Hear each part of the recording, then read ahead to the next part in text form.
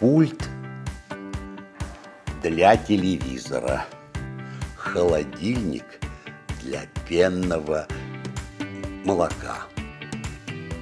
Апролит для почек.